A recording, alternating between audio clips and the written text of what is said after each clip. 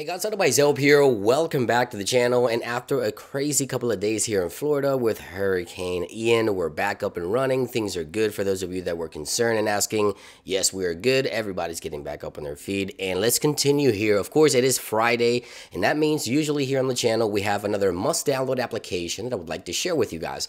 Just like I try to do every single week here on the channel. You guys already know if there's an app you would like for me to try, any recommendations or suggestions, you can always leave those in the comments down below and maybe I'll feature the app that you recommend on the next episode. Now today I have an application to me that is simplicity, right? Sometimes simplicity is key and you guys continue to ask for apps that allow you to customize the lock screen fairly simple. And this one is by one of my buddies. Here it is, Launchify. And this one is available in the App Store to download, of course, absolutely free.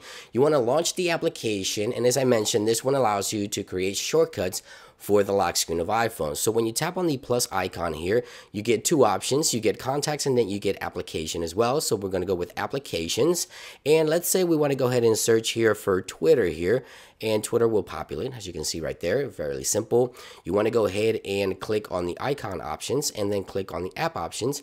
And once again, search for Twitter. Once you search for Twitter here, you can click on search and it will populate all the icons. Now you can choose any icon. I'm going to go with the standard Twitter icon here and then just simply click save.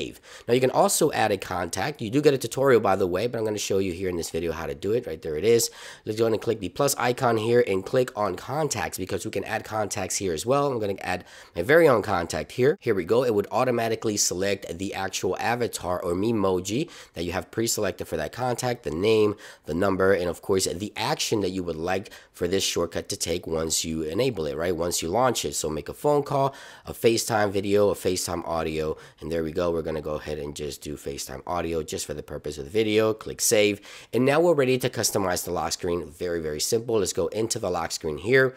Click and press here to go into customizing options. Click on the lock screen if you're running 16.1 or newer click on add the new widget and go ahead and look for the Launchify application. There it is, simple. Just add two of these icons and now we're going to tap on these icons as well to select the action. So we're going to go with Twitter and we're going to go with the contact as you can see right here. And now we're fairly done. That's it. Simple, straightforward. Simplicity is key as I mentioned guys. And depending on the wallpaper, of course, these will look a lot better. So if I launch Twitter, it goes of course straight to Twitter as you can see right there. And again, and if I press on my contact, it would actually make that phone call as I previously previously selected with Launchify. So go ahead and check it out. Launchify is available in the App Store. I highly recommend you download it from the links in the description. It would mean a lot for me, guys. Thank you for watching, and I'll see you guys on the next one.